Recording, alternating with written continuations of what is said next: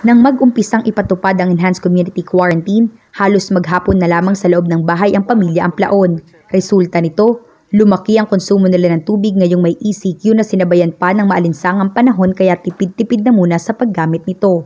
Eh, yun, yung aming pinaglabhan, pinagbanlawan, eh, nilagay namin sa mga timba at siya aming binubuhos doon sa kuan yung bowl.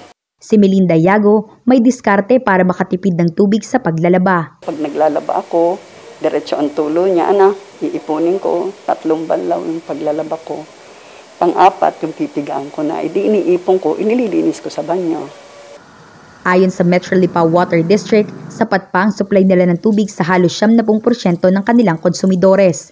Ang natitirang 10% kung hindi umano nakararanas ng paghina ng daloy ng tubig dahil sa humihinang water pressure ay nawawala ng tubig sa umaga pero nagkakaroon din sa gabi.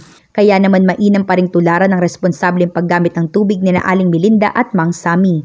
Alam naman natin ngayon sa tindi ng ah, init na ating nararanasan, tapos yung mga tao na, yung mga lahat halos nasa bahay, ah, mas ah, ang gamit ng tubig, uh, kumisan dalawang beses naliligo. Sa ngayon, ah, parang nasusustinahan pa, kaya nga lang, syempre yung iba, humihina din yung pressure.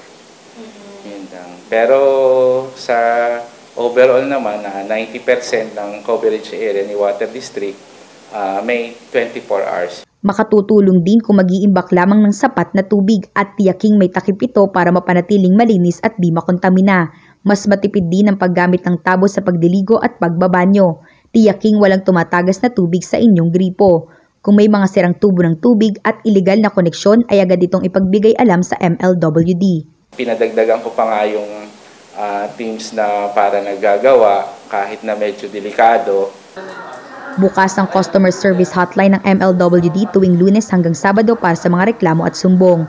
Pero limitado pa ang pumapasok na tauhan ng MLWD sa ngayon kaya humihingi ito ng pangunawa kung sakaling di sila agad nakakaresponde. April Magpantay, ABS-CBN News.